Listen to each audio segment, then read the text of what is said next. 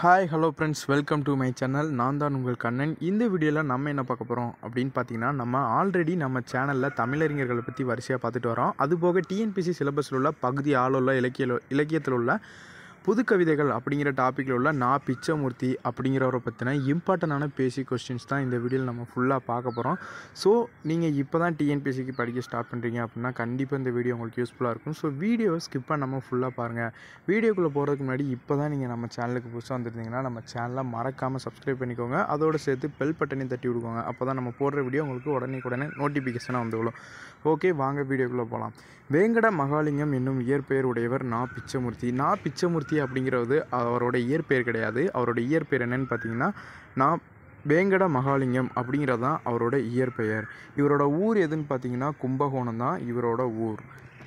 இவரோட பெற்றோர் யாருன்னு பார்த்தீங்கன்னா நடேச தீட்சிதர் காமாட்சி அம்மாள். இவங்க தான் இவரோட பெற்றோர். யாரோட பெற்றோர்னு பார்த்தீங்கன்னா நான் பிச்சமூர்த்தி அவங்களோட பெற்றோர் இல்லைனா வேங்கட மகாலிங்கம் அவரோட பெற்றோர் அப்படின்னு கூட சொல்லலாம். ஏன்னா அதுதான் அவரோட இயற்பெயர். இவரோட பிறந்த ஆண்டு இறந்த ஆண்டு பார்த்திங்கன்னா பதினஞ்சு எட்டு ஆயிரத்தி தொள்ளாயிரத்தில் வந்து பிறந்திருக்கிறாரு. பதினா நாலு பன்னெண்டு ஆயிரத்தி தொள்ளாயிரத்தி எழுபத்தி ஆறில் வந்து இறந்துட்டார். பணி பார்த்திங்கன்னா வழக்கறிஞர் கோவில் நிர்வாக அலுவலர். அதாவது வழக்கறிஞராகவும் இருந்திருக்கிறார். அதாவது லாயராகவும் இருந்திருக்கிறாரு. கோவில் நிர்வாக அலுவலராகவும் இருந்திருக்கிறாரு. எப்போ பார்த்தீங்கன்னா ஆயிரத்தி தொள்ளாயிரத்தி இருபத்தி நாலுலேருந்து முப்பத்தி எட்டு வரைக்கும் இவர் வந்து ஒரு லாயராக வேலை பார்த்துருக்கிறாரு. அதுக்கப்புறம் பார்த்தீங்கன்னா ஆயிரத்தி தொள்ளாயிரத்தி முப்பத்தி எட்டு டு ஆயிரத்தி தொள்ளாயிரத்தி ஐம்பத்தி நாலு வரைக்கும் பார்த்தீங்கன்னா இவர் கோவில் நிர்வாக அலுவலராக வேலை பார்த்துருக்காரு அப்போ ரெண்டு வேலை பார்த்துருக்கிறாரு. பணின்னு கேட்டாலே ரெண்டு வரும். வழக்கறிஞரும் கோவில் நிர்வாக அலுவலர். இந்த ரெண்டுமே அவரோட பணியில் வந்து வரும். தமிழ் புதுக்கவிதையின் தந்தை என்று அழைக்கப்படுபவர் நா. பிச்சமூர்த்தி. அதாவது தமிழ் புதுக்கவிதையின் தந்தை அப்படின்னு சொல்லப்படுவது யாருன்னு பார்த்தீங்கன்னா இந்த நா. பிச்சமூர்த்தியை தான் தமிழ் புதுக்கவிதையின் தந்தை அப்படின்னு அழைக்கப்படுவாங்க. இதை ஏன் தமிழ் புதுக்கவிதையின் தந்தை அப்படின்னு சொல்கிறாங்க அப்படிங்கிறதுக்கு கீழே கொடுத்துருக்குறேன். பாரதியாரின் வசன கவிதையை தொடர்ந்து புதுக்கவிதை படைக்கும் முயற்சியில் ஈடுபட்டார். அதாவது பாரதியாருக்கு அடுத்து வசன கவிதையை புது கவிதையாக படைக்கும் முறையில் ஈடுபட்டவர் தான் இந்த நா பிச்சமூர்த்தி. அதனால தான் இவர் வந்து புது கவிதையின் தந்தை அப்படின்னு பேரை சொல்லி கூப்பிடுறாங்க. இவரோட கவிதைகள் என்னென்னு பார்த்தீங்கன்னா பெட்டிக்கடை நாராயணன் விஞ்ஞானி. இந்த ரெண்டுமே இவர் எழுதின கவிதைகள். இவரோட கவிதைகள் என்னென்னு பார்த்தீங்கன்னா பெட்டிக்கடை நாராயணன் விஞ்ஞானி அப்படிங்கிற ரெண்டு கவிதைகள் வந்து இவர் வந்து எழுதியிருக்கிறாரு. இவர் துணையாசிரியராக பணியாற்றிய இதழ்கள் அதாவது இவரோட இதழ்கள் கிடையாது. இவர் வந்து துணையாசிரியராக பணியாற்றிய இதழ்கள் என்னென்னு பார்த்தீங்கன்னா ஹனுமான் நவ இந்தியா இந்த ரெண்டு இதழ்கள்லையும் பார்த்தீங்கன்னா இவர் வந்து ஒரு துணை ஆசிரியராக இவர் வந்து வேலை பார்த்துருக்கிறாரு.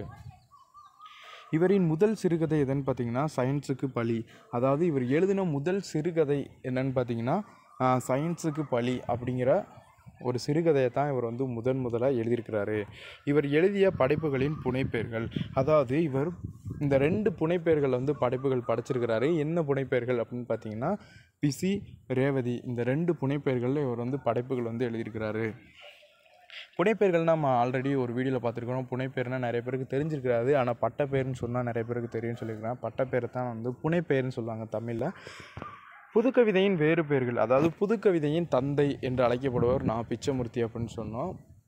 அதுக்கு என்னென்ன பேர்கள் அதாவது புது கவிதையை தவிர வேறு வேறு என்னென்ன பேரில் சொல்லுவாங்க அப்படிங்கிறது தான் சொல்ல போகிறேன் இலகு கவிதை கட்டற்ற கவிதை விலங்குகள் இலா கவிதை கட்டுக்குள் அடங்கா கவிதை. இந்த நாலுமே புது கவிதையின் வேறு பெயர்கள் அதாவது புது கவிதைகளை இன்னொரு மாதிரி எப்படி அழைக்கலாம் அப்படிங்கிறதுக்கு தான் இது. இலகு கவிதை கட்டற்ற கவிதை விலங்குகள் இலா கவிதை கட்டுக்குள் அடங்கா கவிதை.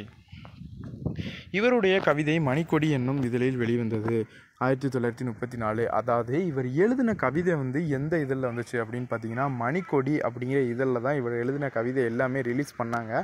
அது எந்த வருஷம் பார்த்தீங்கன்னா ஆயிரத்தி தொள்ளாயிரத்தி முப்பத்தி நாலில் வந்து ரிலீஸ் பண்ணியிருக்கிறாங்க. அப்போது இவர் எழுதின கவிதை எங்கே எந்த இதழில் வெளிவந்துச்சுன்னா மணிக்கொடி அப்படிங்கிற இதழில் வெளிவந்துச்சு. எந்த வருஷம்னு பார்த்தீங்கன்னா ஆயிரத்தி தொள்ளாயிரத்தி முப்பத்தி நாலில். தமிழில் முதன் முதலாக வெளிவந்த புது கவிதை தொகுப்பு எதுன்னு பார்த்தீங்கன்னா புது குரல்கள். அதாவது தமிழில் முதன் முதலாக வெளிவந்த புது கவிதைகள் என்னன்னு பார்த்தீங்கன்னா புது குரல்கள் அப்படிங்கிற ஒரு புது புது கவிதை தொகுப்புகள் தான் முதன் முதலாக தமிழில் வெளிவந்த புது கவிதை. இவர் தனது எழுபத்தி ஆறாவது வய வயதில் மறைந்தார். அதாவது இவர் தன்னோட எழுபத்தி ஆறாவது வயசில் வந்து இறந்துட்டார். அதாவது உயிரை விட்டுட்டார் அப்படிங்கிறதான் சொல்லியிருக்கு. ஓகே ஃப்ரெண்ட்ஸ் இதோட பார்த்தீங்கன்னா நான் பிச்சமூர்த்தி வெங்கட மகாலிங்கம் அவரை பற்றின இம்பார்ட்டண்டான பேசிக் கொஸ்டின்ஸ் ஃபுல்லாக பார்த்தாச்சு.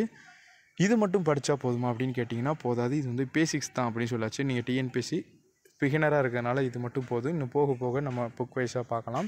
இந்த வீடியோ உங்களுக்கு பிடிச்சிருக்குன்னு நினைக்கிறேன். பிடிச்சிருந்தா லைக் பண்ணுங்கள் ஷேர் பண்ணுங்கள் மறக்காமல் உங்கள் ஃப்ரெண்ட்ஸ் யாரும் எக்ஸாமுக்கு ப்ரிப்பேர் பண்ணாங்கன்னா அவங்களுக்கும் ஷேர் பண்ணுங்கள் அதே மாதிரி இப்போ நம்ம பார்த்த கொஸ்டின்ஸ்லாம் உங்களுக்கு பிடிஎஃபாக வேணும்னு விருப்பப்பட்டீங்கன்னா நம்ம சேனல் டெலிகிராம் சேனலில் ஜாயின் பண்ணிக்கோங்க. அதில் ஜாயின் பண்ணிங்கன்னா பிடிஎஃப் நீங்கள் எப்போ வேணாலும் டவுன்லோட் பண்ணிக்கலாம். ஓகே ஃப்ரெண்ட்ஸ் இதோ மாதிரி இன்னொரு வீடியோவில் நம்ம மீட் பண்ணலாம். Okay bye